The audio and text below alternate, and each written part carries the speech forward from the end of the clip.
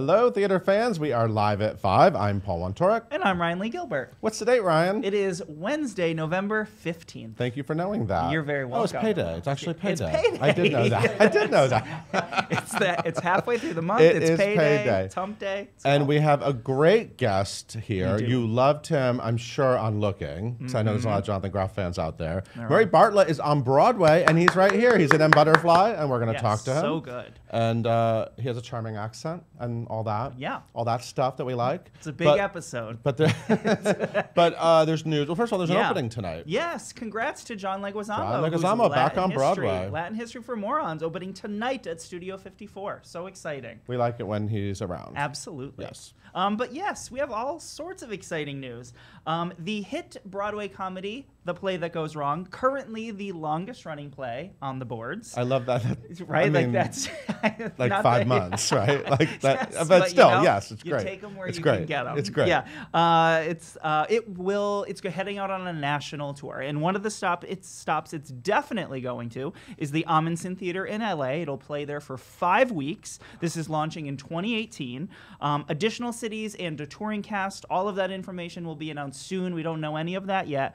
But congratulations over there at the play that goes wrong. Um, it's a great show, and it'll be great on tour. So, Awesome. Yeah. Yeah, it's gonna do really well on tour. Absolutely. It's hilarious. Yeah, Yeah. absolutely. Uh, well, Broadway's going to get a little healthier in January because the Mm. Chocolate Factory is shutting down. That was Yes. good. I like You're welcome. Charlie and the Chocolate Factory will close on Broadway. Final performance January 14th at the Lunt-Fontanne Theater. I believe that's like six weeks away. Mm-hmm. Uh, this is, of course, uh, the Broadway reboot of the West End hit. Right. So it was a big hit. In the, obviously, you all know the movie Willy Wonka and the Mm-hmm. Chocolate Factory, uh, Gene Wilder, and the book by Roald Dahl. And then so it was originally on in the West End. Sam Mendes directed. Sam it over Mendes there. directed it in the West End. It was a bigger, more lavish. It was like huge. The set was enormous. It was Right. like Wicked. And for Broadway, Jack O'Brien uh, assembled an amazing cast. Uh, Christian Borle is, of course, Willy Wonka. And um, it's a totally different version. And, you know, it's been playing well to family audiences, but it is a playing its show. final Yeah. performance. It opened in April. Uh, it'll be 305 performances. They are promising a tour starting in September 2018 Absolutely. and international tours and the UK, another UK tour, and all sorts of tours, but less chocolate on Broadway. Yeah, families across the world will get to see Charlie in the Chocolate Factory, though. So, uh, Come From Away. Uh, that big musical is being adapted into a feature film, which is really exciting. The Mark Gordon Company secured the rights to make a screen musical version of this, and the Tony nominated score will be featured in it by Irene Sankoff and David Hein. A screenwriter and a director will still be announced in the coming future, um, but you can, of course, still see Come From Away on Broadway at the Schoenfeld Theater right now, and another show launching a tour in 2018. It'll travel to U.S. and it'll travel across the U.S. and Canada, beginning at Seattle's Fifth Avenue Theater in October 2018. Now that's gonna be interesting to make a movie of that because Yeah. it really is an ensemble show on stage, right? A lot of times it's it's so much of right, an interaction, and almost all the actors are on stage all the time, playing different It's little gonna be interesting to yeah. make it literal Yeah. and to go to Gander and actually like film all that stuff. I mean, I hope they do. Yeah, I hope they go there and they film it there, and Yeah. I'm sure they will. And they'll have to get like an airplane. Jen, I mean, I hope Jenn Colella, Jenn Colella, yeah. reprises. Yeah, they could Yeah. just do the whole broadcast. Why Yeah. not? playing scenes on a plane. Right, and it's also Sure. like it's uh, how I I don't know how long it's going to take them to do this movie, but usually they kind of let these things you know have their time uh, before they make the film. But it sounds like they're going to kind of jump right in here. Cool. So Uh, congratulations, Keegan Michael Key, of who is now on Broadway in Meteor Shower. He's engaged. yes, This is a total surprise. He was here just days ago, standing on this very spot for a photo shoot, and that those photos will be coming out uh, very soon. And he didn't mention that he was going to pop the question. No, he did not. Didn't bring it up Didn't to any of his close scoop. friends like me.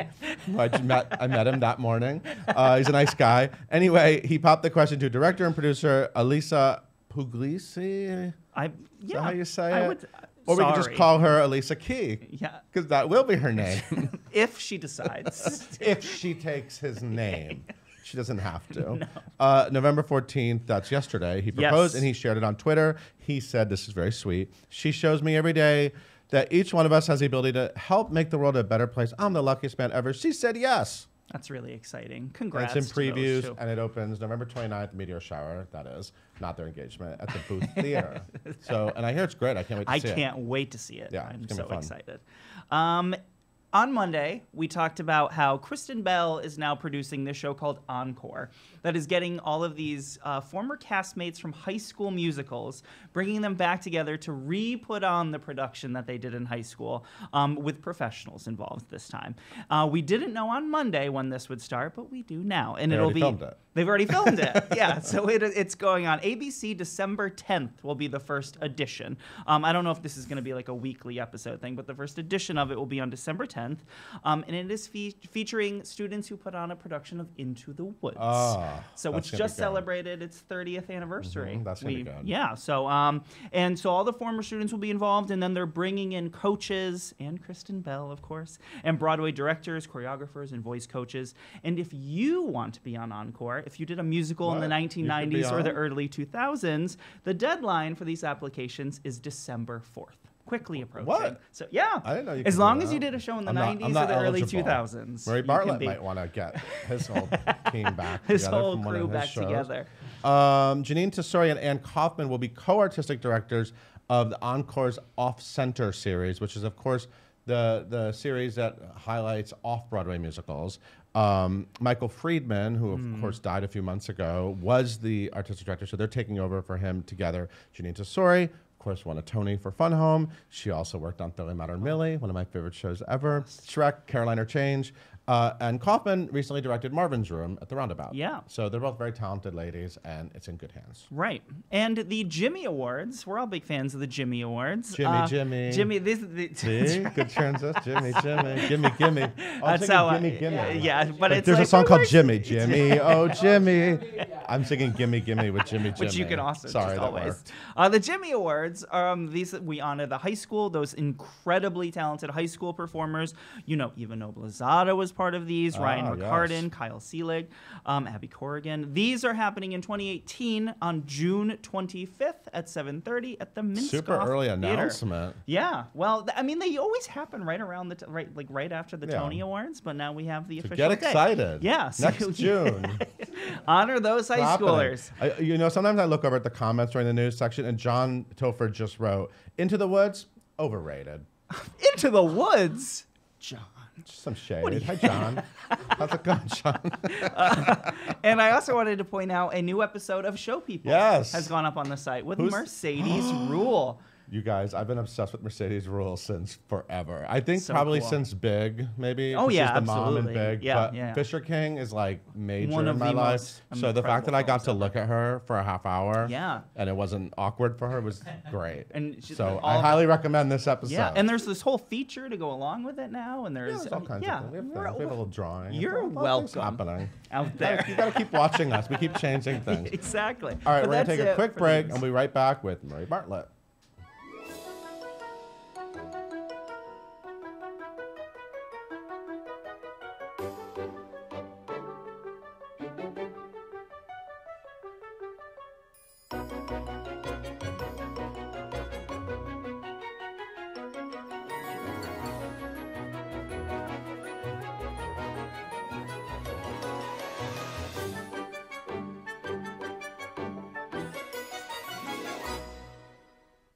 On the outside, always looking in. Will I ever be more than I've always been? Cause I'm tap, tap, tapping on the glass.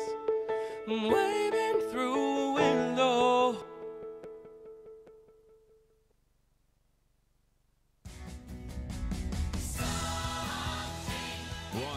Come From Away is a Best Musical winner all across North America. This stirring and inspiring musical takes you to a place you never want to leave. Celebrate the best of humankind and the best in all of us at Come From Away, the remarkable true story of the small town that welcomed the world. You got to get up every morning. For Carole King, finding the top of the charts was easy. Finding her own voice was beautiful. beautiful. The Carole King Music. Hey guys, we are back on Live at 5, and I am joined by Mr. Murray Bartlett. Hello, sir. Hi, lovely Who to be just here. shared his lip balm, his. Australian lip balm. Yeah, Uh, it has the best products on him. How you doing? I'm doing really So well. nice to meet you. Yeah, so nice to meet you too. I'm Welcome excited to the here. Broadway. Thank you. I'm excited to be in this amazing room. In this amazing room. I'm scared that I might sort of disappear into the background though with this shirt. it's good. It's a good lumberjack, a lumberjack look. Yeah, there you go. Well, it's getting cold in New York, you know. is. um, oh my God, you're on Broadway. I am. How'd that happen? Was this something? I don't was this? know. Was this? Has this been a dream of yours? When I, I first uh, started coming here, I didn't have a green card, so it was difficult to get into equity. Um, so I wasn't. You're from Australia. I am from Australia. Let's just get that out of the Yeah, way because I'm sure they're all charmed by the accent. And uh, do do you actually work this accent really hard, like in New York? Do you find moments where you're like, I'm gonna just pump it up right now and be really charming in this moment? I don't do it consciously, but You maybe you should. should talk to my friends, and I probably do like you know up the ante on Yeah, a little occasion. Um, anyway, So yeah, no green cards. So no green card, so I couldn't, I couldn't, you know, I couldn't join equity uh, for a number of years. So I wasn't chasing after Right. theatre stuff for a while, um, for the most part. Uh, but then I got a green card, and those, so then I, you know, we, I started to to look at doing that again. But I, I, I'd sort of got into a groove of doing TV stuff, and Mm-hmm. and so it, it took a while to, you know, just audition every now and then for for a play that I loved or someone I wanted to work with. And I mean. I worked with, you know, I got to work with Julie Taymor. So it was that was Julie Taymor like the the magnet that drew, drew you into this I'm- audition? it was a it was a number of things. I mean, firstly, you know, you want to audition for stuff because you're an actor and you audition. That's what we do. Um, but I was particularly excited about this because I think Julie Taymor was amazing, Yeah. and um, I think so even more now. Um, I love the play. I and Butterfly, David And Butterfly, yeah. I, I I fell in love with it in 1988 when I saw Yeah. it. Yeah, in high school, I, I like loved it when I first saw it. Yeah. and it's a new Me too. version. It is a new version. you're- it's kind of like you're doing a new play. yeah, we uh, you know, we had a, a, a workshop for uh, just four or five days. So you were in that workshop. I was. I yeah. talked to Julie Taymor about that workshop. What did she She say? was very excited about. it. She loves her cast. She, She- does. Oh yeah, she went out of her way to talk about how much she loves the whole cast. It was a it was a real love fest Yeah. working on the show, um, and it you know it was amazing having that workshop in the beginning because we were all just sitting around the table, um, and it was very collaborative. She was. Um, you know, she, she's such a, a, a- strong, amazing presence of a person. Um, and and in that setting, she was so generous in terms of letting everybody have you know so much input Right. uh, in terms of what was happening happening with the script, and some really interesting shifts were made in that few Yeah. days. But it also gave us a chance to really get a great rapport with each other. Like, luckily, it's it is a really lovely group of people, but to have that connection at that point, a few months before we went into rehearsal, I think was so great because when we came to the first day of rehearsal, we were familiar with each other and Mm-hmm. had that kind of you know lovely feeling already. The uh, the physical production, the original play had a beautiful physical production. This one has a, a, a whole new beautiful physical production. There's a lot of panels. There is a lot of. I discussed the panels with Julie because The there's a technical lot of maneuvering of panels. exciting. Do you are you um, moving panels around? We are all and moving Julie's panels. all about uh, you know not, not using overly using technology, right? Because she wants it to be like you know it looks like it's real theater, uh, classic theater tricks and theater. You know, maneuver. So you guys are Yeah. moving these set We are, pieces, yes. all around the stage, Yes. And it- And, I, sometimes that you know you got to get them right in the right position, and Yeah, it a seems like little a lot. tricky. Seems like a lot to, to deal with. I mean, it's certainly you know, I mean, every show is always different every every time you do it, but this show particularly, Yeah. it's like there's a lot of room for variation. I mean, obviously you're aiming to get them all perfect, but it's but I think that's one of the beautiful things about it in a It is way is, it it moves. You know, mm-hmm. with human beings are moving it, Yeah. so it has that kind of organic feel to it. Even though sometimes the stage can look quite stark, but it you know it feels like a group of people making this thing happen, which uh, which is beautiful. It's also like a, I feel like it's a it's a great concept the set because it's it's a very simple concept, but it's very complicated in the way Right. that it Yeah. you know it kind of uh, the the movement of it throughout. It should look easy, and, and Yeah. and you know I saw it it early in previews, and I now it does look easy. Now now Right, it, now that it has a flow to it. Yeah, the but, previews But I, I loved it. Oh, good. I, I love the whole production. And so let's talk about. So you play Mark. I do play Mark. Um, Mark's kind of um, a bad influence on Clive Owen's character. Is that fair to say? yeah, he's a bit of a douchebag, really, Yeah, isn't he? I was gonna. I was gonna use that phrase, but I thought you're the guy playing him. I'll let you say it. No, I think He's that's kind the of a point. D-bag. Yeah, Yeah, yeah. he kind of uh, wants to. Yeah, he like doesn't necessarily treat women women well. Maybe he goes out a lot. he's Maybe a he's sort of living it up. Yeah, he's a misogynist. He's Misogynist. racist. He like he represents all that sort of you know all that kind of side of Clive Clive Owen's Yeah. character, Gallimard. Um, so and I mean, what was exciting to me about that is that we're seeing a lot of that at the moment. You know, we're Yeah. seeing a lot of those types of characters in you know Yeah. positions of power and and that kind of energy, I guess, Mm-hmm. rearing its head um, in the world. So it's you know, it's very present. It's so interesting with this play because it was you know it was done in the '80s and doing it again now. It's so pertinent to, to now, and it's Mm-hmm. ki- it's kind of uh, it's amazing. It's sad in some ways that we haven't moved past some of these Yeah. things, you know, that the that the play is, is dealing with. But uh, but anyway, so I think you get to laugh at Mark, which I think is hopefully a good Mm-hmm. Yeah. thing. You know, Comic relief. yeah, yeah, it is comic relief, Yeah. but he's also, you know, some of the stuff he's saying is really gross. Yeah. Um, and and he obviously pa plays a, a, a, important role in the, the lead character sort of figuring out his identity and being the kind of the devil on his shoulder in a way. Mm-hmm. Yep. Uh, How's Clive Owen?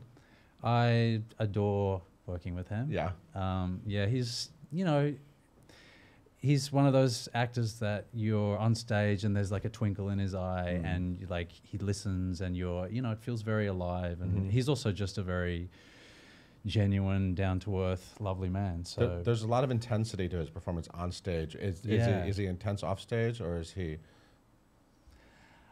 I mean, I guess he, he's very grounded Uh-huh. as as a person. I think I think he brings that onto the stage for sure. Um, so yeah, I guess there is an intensity in his groundedness in a way, but he's also like a jokester. You know, it's Uh-huh. like fantastic because um, I adore Julie, and this is not a criticism. I adore Julie, and she can be really intense in Right. the rehearsal room. Right. So it was lovely to have also Clive, and you know, it was a lovely you know balance of, of personalities. But having Clive being kind of a little jokey and you know always up for a kind of a laugh, which Julie is as well. But Mm-hmm. it takes a little bit sometimes to like break through the intensity. uh-huh. Uh, yeah, So, of co- uh, like I mentioned before, you were on Looking. yeah, Um, and uh, you played the character of Dom. I did. Yes. And uh, so you know Jonathan Groff, I adore Jonathan. who Groff. everybody watching adores Jonathan Groff. Yeah, um, yeah, he yeah. was just recently here. So You can feel him you can feel air. his energy. It sort of lasts like a week after he's somewhere. Smell one? Uh, so yeah, do you, do you want to reveal any secrets about Jonathan Groff? What it was like getting to know him? I mean, I don't know. He's just. This is going to sound really cheesy, but he's one of the loveliest people I've ever met. We've Yeah. become really great friends. We all did on the, the on that show. Yeah. Um, he's just, uh, you know, a, a genuinely good person who, um, yeah, I don't know. There's there's nothing much more to Not say. much to say. Yeah. I mean, you know that, right? Yeah, He just like yeah. exudes that. Yeah. Uh, plus, you know, he's incredibly talented, obviously, but he's um, he's a great friend. I have to say that. A really, really supportive, lovely, lovely friend. Do you miss the that mustache? That mustache was. I grow it back kind of every now and iconic. then. Every once in a while, you throw it back on. Yeah, Yeah, mhm, throw yeah, it back I on. Just not not for a butterfly. No, I had it at the beginning of uh, rehearsals actually, but Oh, Julie yeah. wasn't having it. Right. She's like, "What is that?" you tried. yeah, You no. also met another uh, person we know and love on the set of Looking, uh, Andrew Keenan Bolger. Boy, did I meet him on the set of Looking.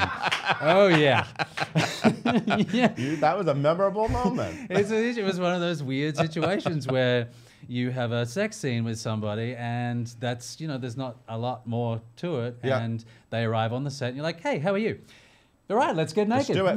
Let's do this. so uh, but he's you know I, i'd seen him before and, and, and stuff with clothes on uh, and and was already a fan and he was you know he, he he was wonderful and it was you know it was those things are always a little awkward in the beginning and Mm-hmm. then you know if it's a, a lovely generous actor which he is everyone just sort of Right. settles down you get Right. on with it yeah.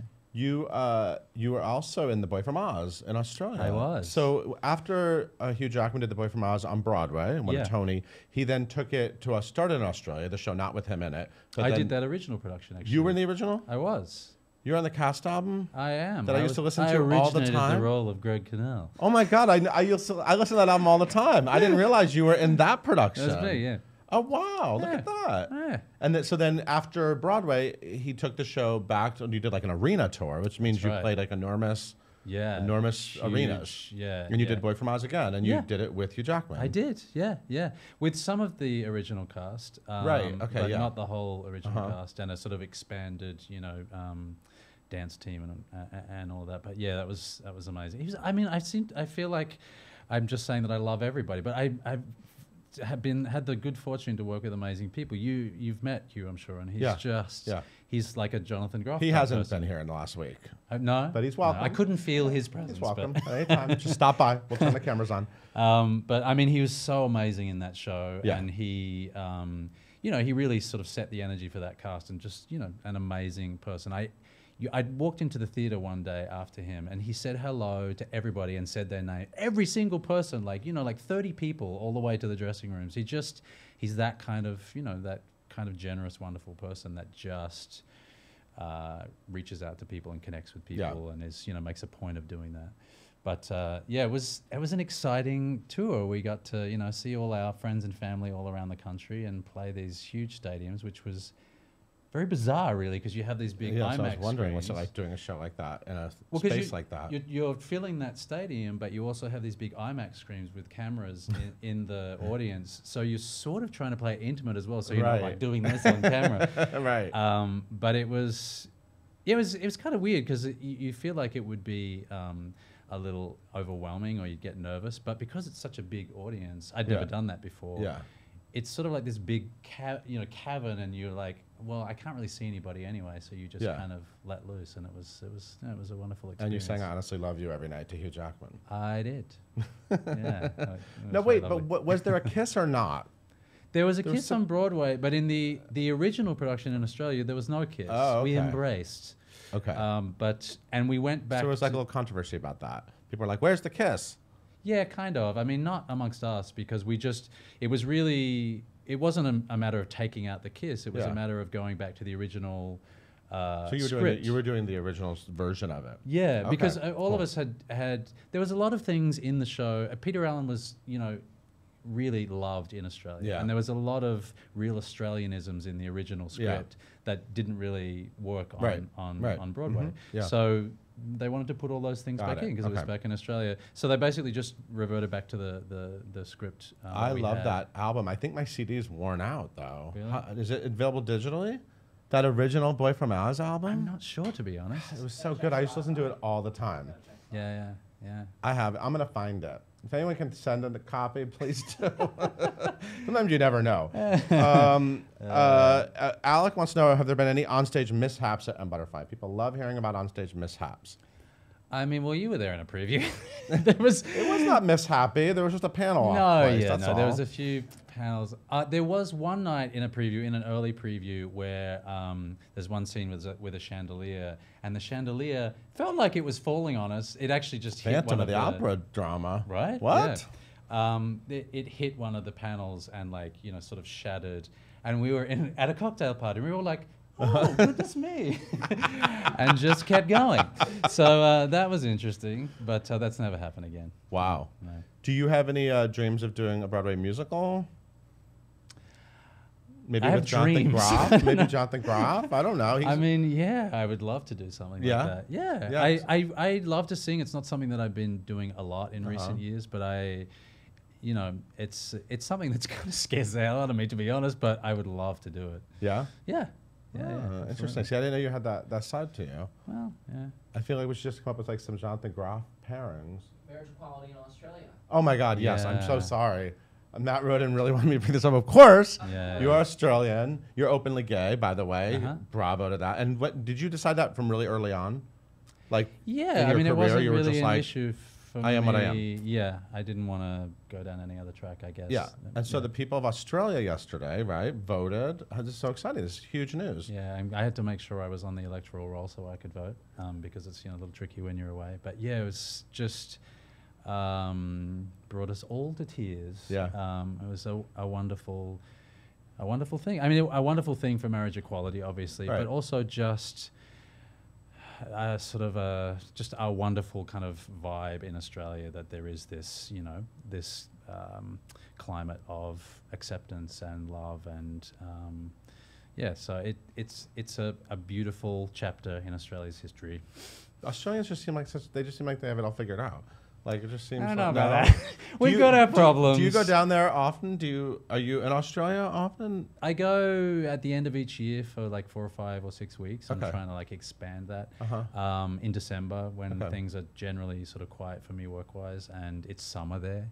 So Uh-huh. I miss the beginning of winter, get the beginning of, Right. summer there, and and you know it's holiday time, so I get to see Yeah. my family and friends. I have you been? No, I'm dying to go, and I, I keep trying to find like a like now I know they're doing Priscilla. Priscilla Queen of the Desert is Right. back Yeah, yeah. with Tony Sheldon. Yeah, Yeah, yeah, yeah, and, and David Harris. I mean, and I would love to see that, but oh, you know David. yeah, Oh, love David. We did. Boy from Oz together Oh, David was in Boy from Oz. in the original production. Yeah. Oh, he's in Rags right now at Goodspeed. Fantastic. Ah, cool. And he was in Next to Normal. Yeah. Yeah, yeah, Um, awesome. Yeah. So I would love to go. I want to go to Australia. It's beautiful, you know. I, I mean, I'm biased, I guess, but it's. Uh, I come from Western Australia, which is, you know, kind of a wilderness, really. I mean, there's a, a city in the south, but most of it's desert and really kind of wild country. And so, if you love that, which I do, it's amazing. It's, you know, it's one of the most sort of remote places on earth in terms of, you know, cities and, and countries being so far away. So it feels very quiet. Mm-hmm. It feels like the opposite to New York. I feel like it's a great place to go from New York because you get the you Yeah. know, the opposite energy. Right. Yeah, yeah. Yeah. I just wish it was like an hour away. It's, Yeah, it's, it's, instead of, like, journey. It's a journey. Yeah, it's a journey. yeah. It's not it like a JetBlue long, flight long from. LaGuardia. No, you need a good chunk of time and, and patience. And some maybe good sleeping uh, aids. Yeah, maybe that too. well, um, everyone needs to see M Butterfly. It's at the Cort Theater. It is. which is on 48th Street, and so it's great to see plays there too, because it's such a nice, beautiful little Really jewel beautiful. of a theater, a jewel box of a theater. It holds a lot of people, but it feels very intimate. Yeah, intimate. it it's feels very really, It's beautiful being on stage there. It's like the audience is in shelves. They're right there, and you're, Yeah. you're right with them. It's Yeah. beautiful. Cool. Well, thank Yeah. you so much for coming in. Thank so you nice to meet you. Yeah, and you. Everyone, check out M Butterfly, and we'll be back tomorrow with another amazing guest at five o'clock. Bye. Bye.